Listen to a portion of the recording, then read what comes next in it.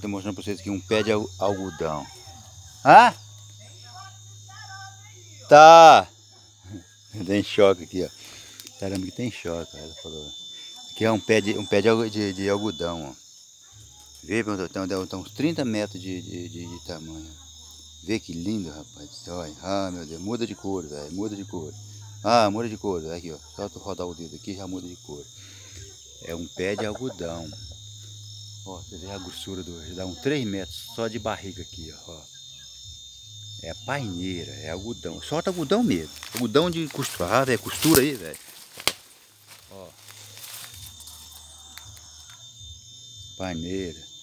Conhecido também por Sumaúma, né? Sumaúma. Conhecido também por, por, por Sumaúma. Por a barriga. Ó. Veja bem.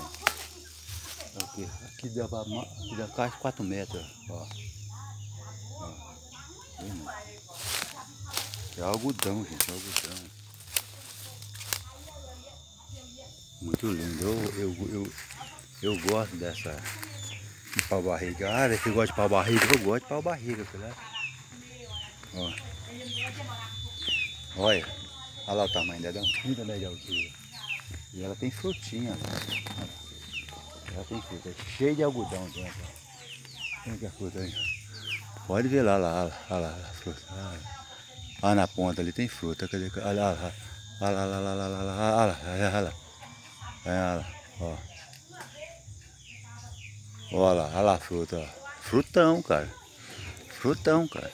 É? Então tá aí.